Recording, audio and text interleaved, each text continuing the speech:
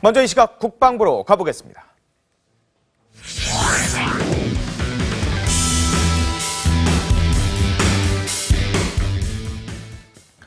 북한이 오늘 아침 평양 순안 일대에서 탄도미사일을 발사했습니다. 북한 미사일은 이번에도 일본 상공을 지나 북태평양을 북태평양에 떨어졌습니다. 국방부에 나가 있는 취재 기자 연결해 보도록 하겠습니다. 안영영 기자, 아, 미사일 사거리가 지난번보다 길어진 거죠? 네, 합동참모본부는 북한이 오늘 오전 6시 57분 평양시 순안 일대에서 동쪽으로 탄도미사일 한 발을 발사했다고 밝혔습니다. 사거리는 약 3,700km, 고도는 770km로 미사일은 일본 상공을 지나 태평양으로 떨어졌습니다. 북한은 지난달 29일 오늘과 같은 장소인 평양 순안 비행장에서 일본 상공을 넘어 중거리 탄도미사일 화성 12형을 발사했습니다. 지난번엔 사거리 2,700여 킬로미터에 고도 550킬로미터였는데 이번엔 사거리가 1,000킬로미터 정도 늘어난 겁니다. 북한은 지난달부터 한반도 유사시 전략자산이 출동하는 괌의 미군 기지를 탄도미사일로 포위 사격하겠다고 엄포를 놨습니다. 이번 미사일은 북한에서 괌까지의 실제 거리인 3,400여 킬로미터를 훨씬 뛰어넘는 수치입니다. 우리 군은 북한 미사일 발사와 동시에 동해상으로 현무2 미사일 실사격 훈련을 실시했습니다. 합참은 이번 훈련을 북한의 도발 원점인 순안 비행장까지의 거리인 250km를 고려해 실시했다고 밝혔습니다. 하지만 육군이 쏜 현무 미사일 두 발 중 한 발은 목표물에 명중했지만 다른 한 발은 발사 수초 만에 동해상에 낙하했다고 군 당국이 밝혔습니다. 올해 실사격에서 현무 미사일이 추락한 것은 이번이 처음입니다. 지금까지 국방부에서 TV조선 안형량입니다. 문재인 대통령은 국가안전보장회의 전체 회의를 긴급 소집했습니다. 청와대 취재기자 연결해 보도록 하겠습니다. 홍혜영 기자, 자 문재인 대통령 어떤 얘기를 했습니까? 네, 북한이 IRBM급 중거리 탄도미사일로 추정되는 미사일을 또다시 발사한 직후 문재인 대통령은 오늘 오전 8시부터 9시 12분쯤까지 청와대에서 국가안전보장회의 NSC 전체 회의를 열었습니다. 문 대통령은 우리에게는 북한이 도발해올 경우 조기에 분쇄하고 재기 불능으로 만들 수 있는 힘이 있다며 국민이 정부를 믿고 생업에 종사해달라고 당부했습니다. 또 북한이 최근 주장한 EMP, 생화학 위협 등 새로운 유형의 위협에 대해서도 면밀히 분석하고 대비 태세를 갖추라고 말했습니다. 북한을 향해서는 이런 상황에서는 대화도 불가능하다면서 북한이 대화의 길로 나올 수밖에 없도록 국제사회의 제재와 압박이 한층 더 옥죄어질 것이라고 경고했습니다. 자, 어제 대북 인도적 지원을 고려하고 있다라고 얘기를 했었는데 이런 상황에서 정말 그렇게 북한한테 뭘 줘야 되느냐 이런 얘기가 많았거든요. 청와대 혹시 입장 변화가 있습니까?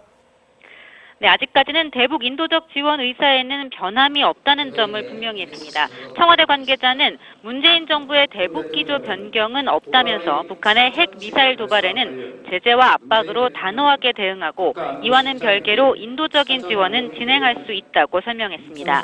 하지만 정부가 국제기구를 통해 800만 달러, 우리 돈 90억 원 규모의 대북 인도 지원을 검토한다고 발표한 지 하루 만에 북한이 또다시 도발을 감행한 만큼 논란은 이어질 것으로 보입니다. 문 대통령은 다음 주 미국을 방문해 유엔 총회에서 기조 연설을 할 예정인데요. 여기에 담을 대북 메시지를 놓고도 고민이 깊을 것으로 보입니다. 지금까지 청와대에서 TV조선 홍혜영입니다. 야권은 한 목소리로 문재인 정부 안보 정책에 대해서 비판을 쏟아냈습니다. 전술핵 재배치를 재차 요구하면서 대북 인도 지원도 재고해야 한다고 주장했습니다. 국회 취재기자 연결해 보도록 하겠습니다. 최수영 기자, 아, 야권 반응 전해 주시죠. 네, 야권은 북한의 미사일 도발을 규탄하면서 문재인 정부 안보 정책을 집중적으로 비판했습니다.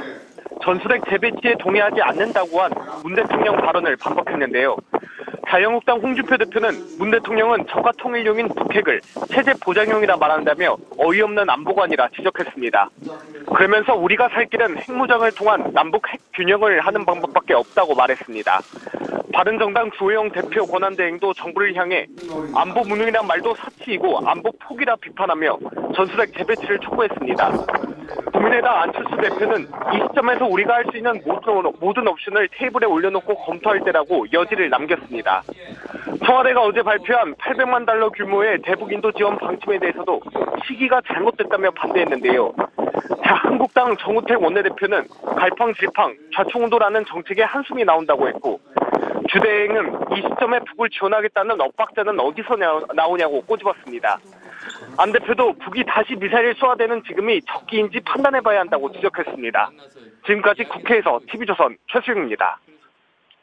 자, 북한 얘기 좀 자세히 짚어보겠습니다. 문성묵 한국국가전략연구원 통일전략센터장 함께 모셨습니다. 네. 어서 오십시오. 안녕하십니까. 자, 이 북한의 도발에도 정부는 인도적 대북 지원은 추진하겠다는 의사를 밝히고 있는데요. 자, 정부의 입장을 먼저 들어보도록 하겠습니다.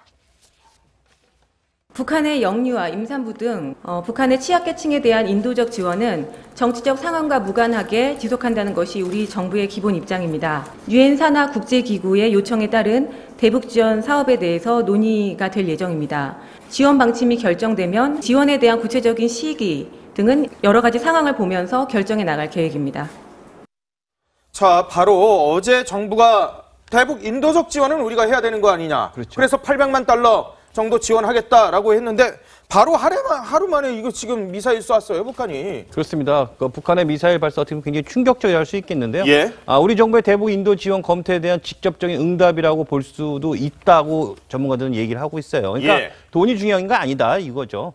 아, 그리고 이제 정부가 어제 국제기구를 통해 이제 북한 그 모자 복원 사업에 800만 달러를 지원하는 방안을 추진하겠다고 밝혔는데 북한이 불과 하루 만에 도발을 감행에 따라서 아, 어떤 우리의 제의가 좀 무색해졌다 이런 얘기가 나오고 있습니다. 예. 아, 그러면 이제 청와대는 오늘 북한의 그 탄도미사일 발사에도 아, 인도적 지원은 그대로 진행한다는 방침을 재확인했거든요. 아, 그래요? 그렇습니다. 문재인 정부의 대북 기조는 이제 변경은 없다면서 북한 미사일 발사와 핵 도발에 대한 단호한 제재 기조는 유지하지만 이와는 별개로 인도적 지원은 진행할 것이다라고 이렇게 말을 했습니다. 예. 아, 북한의 화해 메시지를 전해 국면을 전환하려는 의도가 있다는 분석이 나오고 있습니다. 아, 이게 통일부는 그런데 또 이 시점에요. 아, 참. 노무현 정부 때 신설됐다가 이명박 정부에서 폐지됐었던 인도 협력국. 결국 이거 북한 지원하는 에, 그런 사업을 하게 되는 곳인데 8년 만에 부활을 하게 되거든요. 네. 인도적 지원 중요하긴 합니다만 굳이 이 시점. 아, 북한은 계속 도발하고 있거든요. 그렇죠. 지금 뭐 충격적이라고 말씀을 하셨는데 제가 볼 때는 뭐 충격적이라기보다는 이미 예견된 도발이라고 볼수 아, 예, 있어요. 예, 예, 예. 북한이 육차 핵실험을 했고 거기에 대해서 유엔 안보리가 아, 초강수 2375호 대북 제재 결의를 했고 예. 북한이 거기에 대해서 강력히 반발하면서 미국을 고- 미국에 고통을 주겠다 이 예. 예고를 했어요. 그렇기 때문에 오늘 미사일 도발은 그건 뭐 예견된 도발이었는데 예. 겸- 이 시점 자체가 우리가 대북 인도적 지원을 발표한 직후에 있었다고 하는 그렇죠. 점. 예. 그런데 말씀하신 대로 어, 인도 지원이라고 하는 것은 물론 필요합니다. 북한 지금 김정은 정권은 우리가 적대하고 있지만 예. 북한 주민들에 대해서 우리가 마음을 얻어야 하는 아, 그럼요. 그런. 필요 때문에 인도 지원이라고 하는 것이 필요하기는 하나 지금 북한은 핵을 개발하고 우리 모든 우리 국민들에 대해서 핵으로 완전히 진 뭉개보기겠다고 하는 그렇죠. 이런 상황 속에서 우리가 지원한다고 하는 것이 우리 예. 국민 정서에도 맞지 않고 국제사회에서 일관되게 김정은을 압박하고 변경시키고자 하는 상황과는 조금 거리가 있다라고 하는 예, 예. 이런 지적들이 있는 것이죠. 아, 야당은 그러니까 아예 안보 포기 정권이라는 표현까지 쓰고 있습니다. 네, 결국 이제 자유한국당 쪽에서 이제 나온 내용인데요. 북한의 이제 핵미사일에 대응하지 못하는 이 문재인 정부의 대북 정책을 안보 포기 상태다 이렇게 비판을 했어요. 그러면서 뭐라고 얘기냐면 북한은 이제 이제 적당한 제재로는 제어할 수가 없는 상황인 건데 지금이 우리 정부는 대북 인도적 지원이라는 명분으로 이게 800만 달러 지원 계획을 밝혔다. 그러면서 대북 유화책에 집착하고 있는 이유를 도저히 납득할 수가 없다 이렇게까지 비판을 했습니다. 집착이라는 표현을 썼군요. 그러면서 이제 국내당 안철수 대표 역시 이제 북한이 핵실험을 하고 유엔 제재 결의 통과된 직후에도 이제 또다시 이렇게 미사일을 쏘아대는 지금이 과연 이게 적기인지 판단해야 한다. 예. 그래서 전략적으로 제발 사고해라. 전략적으로 사고해야 된다. 이렇게까지 지적을 했습니다. 모든 일에는 명분과 그리고 시점이 중요한 것인데 과연 명분과 시점이 다 갖춰진 행동인지 다시 한번 아, 생각을 해봐야 된다라는 건데 자 그런데 문재인 대통령이 어제 전술핵 재배치와 관련해서 완전히 잘라서 그게 무슨 말이냐 이거 우리는 전술핵 재배치 안 한다라고 선을 그었거든요. 전술핵 재배치 물론 뭐 안 할 수도 있습니다만은 지렛대 정도의 카드 정도로 남겨놓는 게 오히려 더 유리했을 수 있지 않느냐라는 얘기도 있거든요. 그렇죠. 문재인 대통령의 연금은 좀 그렇게 이해를 했습니다. 찬성하지 않는다고 얘기를 했거든요. 지금 정부가 비핵화 정책이라고 하는 일관된 입장을 유지하고 있는 상황에서 예. 전술핵 재배치 문제나 핵무장을 그것도 대통령이 직접 뭐 하겠다라고 말하기에는 아마 부담이 있었을 그렇죠. 거예요. 그럼요. 그리고 또 유엔 어, 이 총회 연설을 앞두고 예. 우리 대한민국은 비핵화 입장을 견지하고 있다. 그러니 북한의 비핵화를 위해서 국제사회가 일관되게 노력해달라. 아마 그런 논리의 연장선상에서 얘기를 했지만 예. 이유는 북한이 우리가 요구하는 대로 비핵화에 나오지 않고 근데 우리가 북한의 핵 인질이 되는 그런 상황이 됐을 때 네. 과연 계속 우리가 전술핵도 안 되고 핵무장도 안 된다 그런 입장을 일관되게 할 수 있겠느냐 예. 그런 차원에서 우리 국민들은 좀 더 우리가 스스로를 지킬 수 있는 그런 역량을 구비하는 것. 하하하. 그 중에 하나가 바로 전술핵 재배치고 결국 만약에 미국이 우리를 지켜주기 어려운 그런 상황이 됐을 때는 예. 결국 인도와 파키스탄 서로가 자위적인 차원에서 핵을 핵을. 무장했듯이 예. 우리도 그런 선택을 배제할 수는 없는 것이 아니냐라고 하는 것이 이제 우리 국민들의 에, 목소리라고 봐야 되겠죠. 그렇죠. 지금 여론조사를 봐도 어, 물론 안보 위기가 심각하니까 더 그렇습니다만은 핵에 대해서 우리도 핵을 가져야 되는 것 아니냐라는 여론이 더 높은 게 현실이거든요. 그렇습니다. 하하. 그 자유한국당에서요 이 집착이라는 거에 대해서 좀 시원하게 설명을 해준 분이 계신데요. 어, 그래요? 이 큰 흐름이 있다는 겁니다. 전략 전술핵 재배치는 안 된다. 그리고 예. 800만 달러는 송금을 해준다. 그리고 인도 협력국을 설치한다. 이거는 지난 2007년에 노무현 대통령이 14 정상회담을 하지 않았습니까? 예, 예. 조금만 있으면 10주년입니다. 아, 그렇죠. 10주년 20일 전에 맞춰서 하나 하나 하나씩 카드를 전달하면서 예. 뭔가 10주년의 큰 그림을 그리겠다 이런 목적이 있어서 그런 걸로 보인다. 라는 게 지금 야당의 주장입니다. 그러니까 그래서 큰 그림이 있다는 거죠. 표현을 네. 썼다는 말씀이시군요. 네, 그렇습니다. 자, 야당은 거듭된 북한의 도발에 남북 핵균형을 이뤄야 된다라고 주장을 하고 있습니다. 들어보겠습니다. 마치 폭죽놀이 하듯이 미사일 도발을 하고 있습니다. 공기총을 아무리 성능 개량을 해도 대포를 당할 수가 없습니다. 우리가 살 길은 이제 핵무장을 통해서 남북 핵균형을 하는 방법밖에 없습니다. 수많은 전문가와 심지어 미국과 또 대다수의 국민 여론이 요구하는 전술핵 재배치 문제에 관해서 재배치하지 않겠다. 그러면 문 대통령이 생각하는 한반도 평화 보장책은 무엇입니까? 국민들에게 내놓아야 할 것 아닙니까? 자, 지금 보수 야당은 저렇게 에, 우리가 살 길은 핵무장밖에 없다라고 얘기를 하는데요. 어떻습니까? 사실 이게 진짜 필요한 겁니까? 그리고 현실적으로 가능할까요? 예, 우선 이제 필요성과 가능성은 좀 별개로 봐야 될것 예. 같은데 필요성이라고 하는 건 이제 국제 정치상에서 또 국제 에, 이 정치 이론상으로 보면 결국은 핵은 핵의 균형을 통해서 네. 다시 말하면 공포의 균형을 통해서 상대방을 억제할 수 있다. 예. 억제라고 하는 건 상대방 내가 만약에 이걸 사용하면 상대방도 그걸 사용해서 내가 죽을 수 있다라고 하는 생각을 가져야 행동을 억제할 수 예. 있는데 북한은 핵을 가지고 있는데 우리는 핵이 없단 말이죠. 예.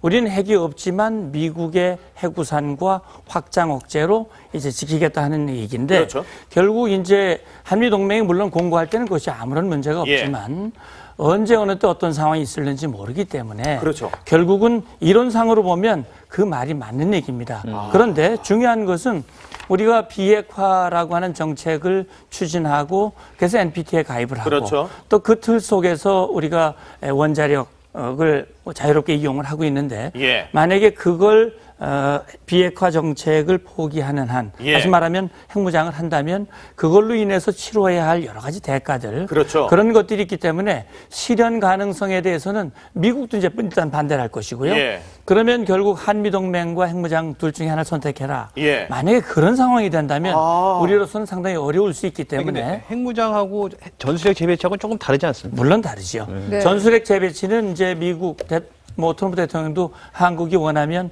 검토해 볼 수 있다라고 하는 보도가 나왔었는데 그렇죠. 예. 그건 좀 다른 문제죠. 예. 전술핵은 주한 미군이 다시 말하면 그 소유권은 미국이 가지고 있고 그걸 위치상 한국에 갖다 놓는 것이고 사드 배치와 비슷한 비슷한 거죠. 그렇죠. 되겠군요. 그런 것이고 핵무장은 우리가 이제 하는 것이니까 예. 좀 성격은 다른 겁니다. 아하, 전술핵 재배치는 미국과 대한민국 정부의 협의하에 따라서 가능할 수도 있는. 그건 뭐 미국이 우리가 원하고 미국이 동의하면 가능한 것이죠. 아하. 최경국 역 시 반발도 그렇게 크죠. 아, 아마 거죠? 제가 생각할 예. 때는 그것은 지금 중국은 아마 사드 배치에 대해서 네. 반대를 하고 있기 예. 때문에 전술핵이 들어왔을 경우 그 수위가 더 높아질 가능성도 있습니다.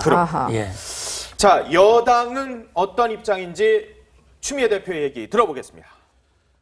고도화되는 북한 핵 미사일 위협에 대한 대응책으로 킬체인을 보완하는 것은 분명히 필요해 보입니다.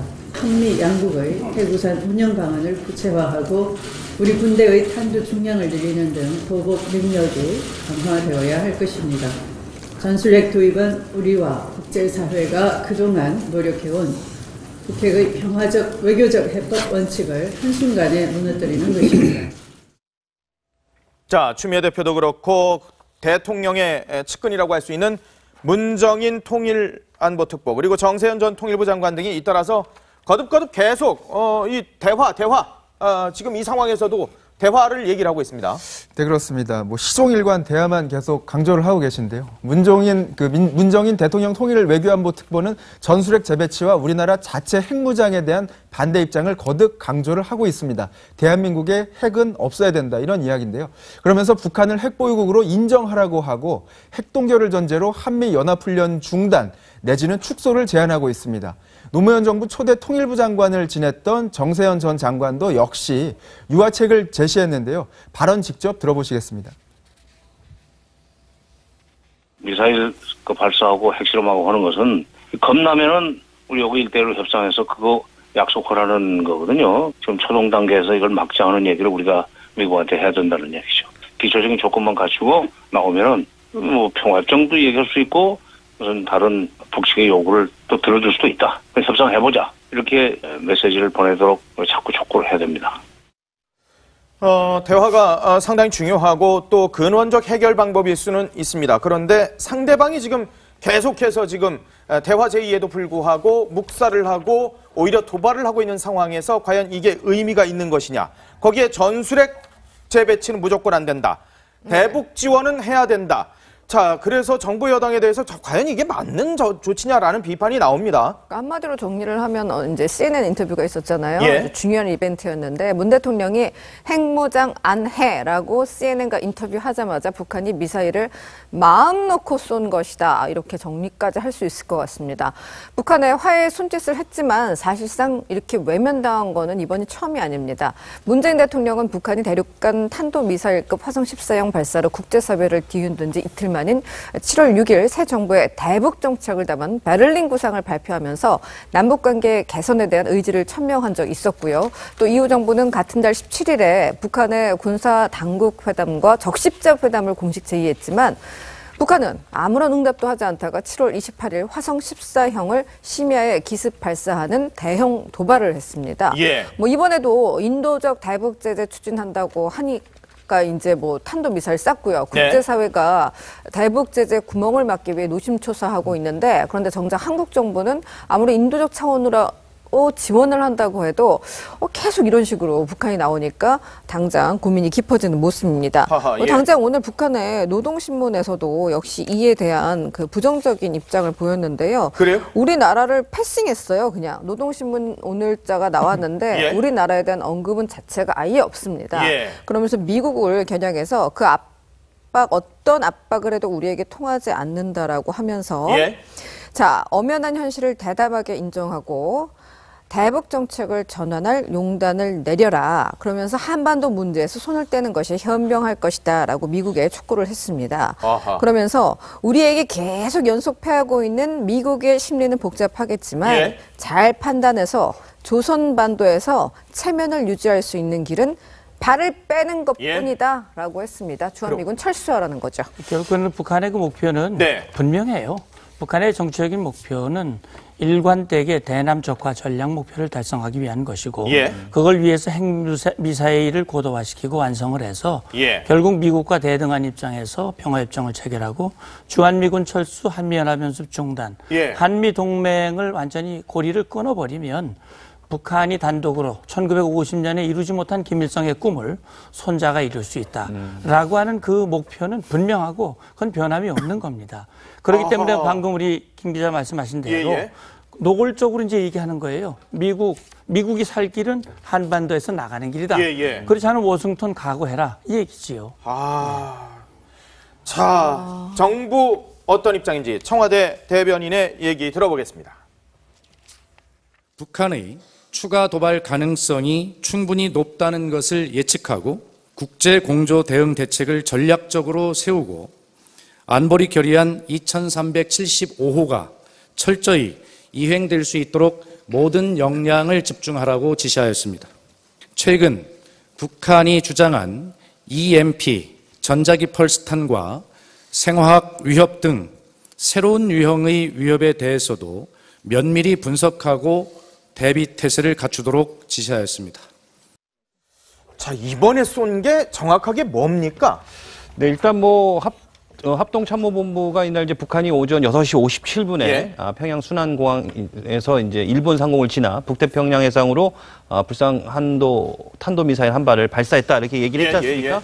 아, 지금 일단 뭐 합찬의 밝힌 대로 보면은 최대 고도가 약 한 770여 킬로미터, 비행 거리는 약 한 3,700킬로미터로 지난보다 좀 늘어났습니다. 예. 그래서 지금 추가 정보에 대해서는 지금 한미가 정밀 분석 중에 있다라고 얘기하고 있는데 예. 많은 분들이 저 화성 12형, 그러니까 즉 IRBM, 그러니까 탄도미사일은 아니고 예. 그 IRBM 정도, 화성 12가 아니겠냐라는 그러니까 대륙간 게 탄도미사일 아니고 중거리 탄도미사일이라는 그렇죠. 거죠? 그거라고 지금 얘기를 하고 있는데 예. 그 아까 우리 저 문성모 위원이 얘기했듯이 이 많은 분들이 그런 얘기를 해요. 자, 한국하고 북한하고 사막을 가는데 한국은 물과 빵이 있어요. 북한은 권총밖에 없어요. 예. 근데 우리는 물을 한 모금 줄까? 두 모금 줄까? 아니 반을 줄까? 이렇게 생각하고 있는데 북한은 이거를 언제 뺐을까? 예, 예. 이렇게 생각하고 있는데 그걸 지금 이게 권총이냐 장총이냐 그게 의미가 없대요. 우리가 뭔가 아하. 같이 총이 있어야 그래야 뭐 물을 주든 빵을 예. 줘도 그쪽에서 응할 텐데 우리는 총을 들고 있는 사람한테 한 모금 줄까 두 모금 줄까 반 줄까 뭐 이렇게만 생각하고 있으니까 이게 안 된다 이런 얘기가 지금 나오고 있습니다. 확 와닿네요. 자, 북한이 오늘 발사한 미사일 어떤 의미가 있는 건지 백대우 기자가 좀 정리를 해봤습니다. 북한이 발사한 미사일은 대략 최대 고도 770km, 비행 거리는 3,700km에 이르는 것으로 파악되고 있습니다. 중거리 탄도 미사일, 이른바 IRBM급 미사일이라는 관측이 전해지고 있습니다.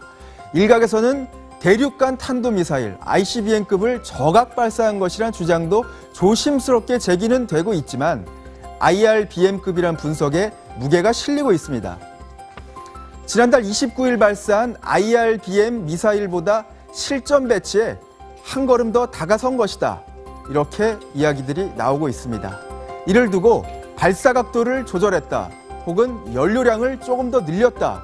혹은 탄두 중량 축소 등 미사일 무게를 줄였다. 등등 다양한 관측들이 전해지고 있습니다.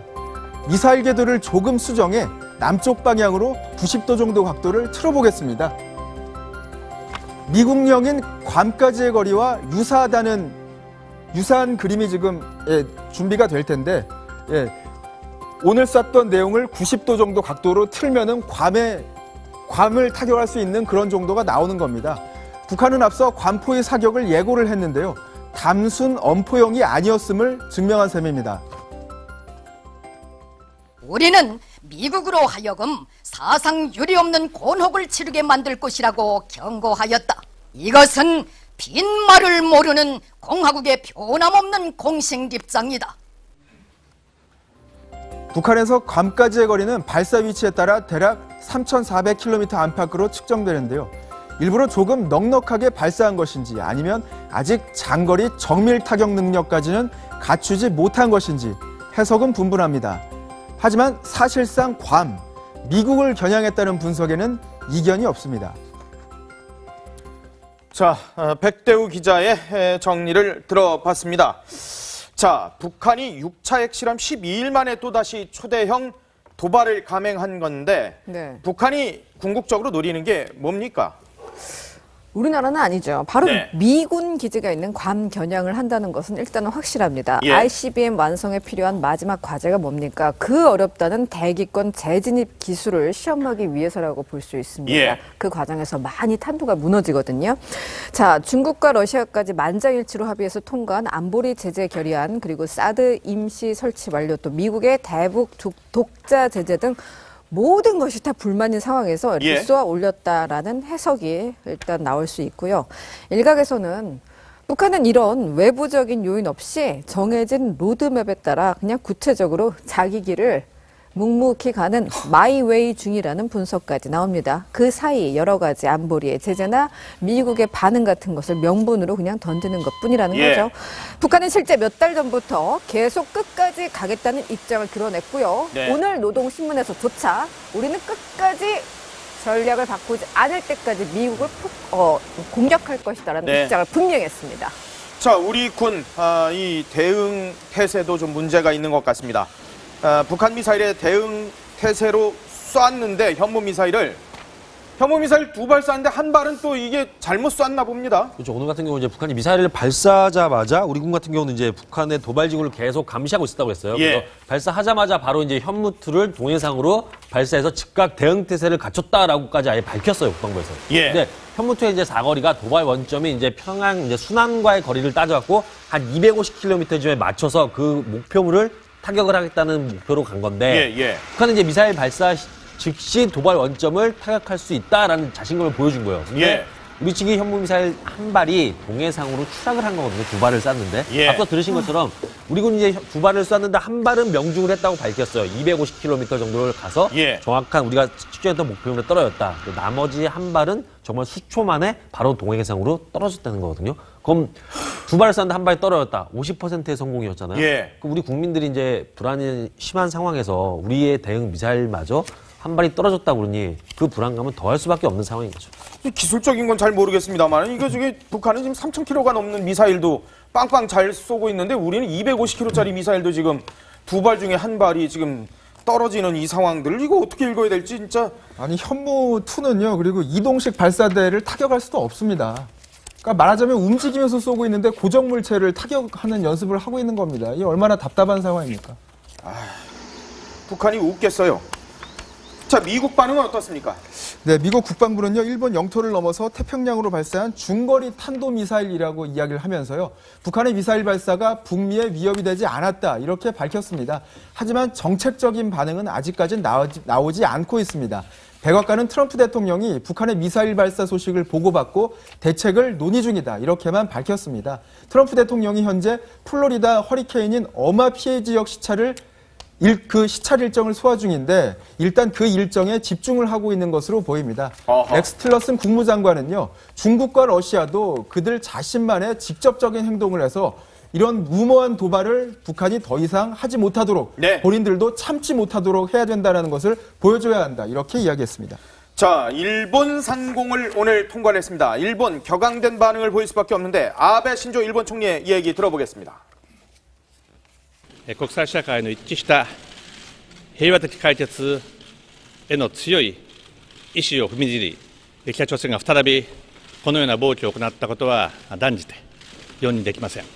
우리의 대륙간 탄도 로켓을 보고도 아직 정신을 덜 차리고 못되게 나오는 일본 놈들에게 단단히 본때를 보여줘야 한다.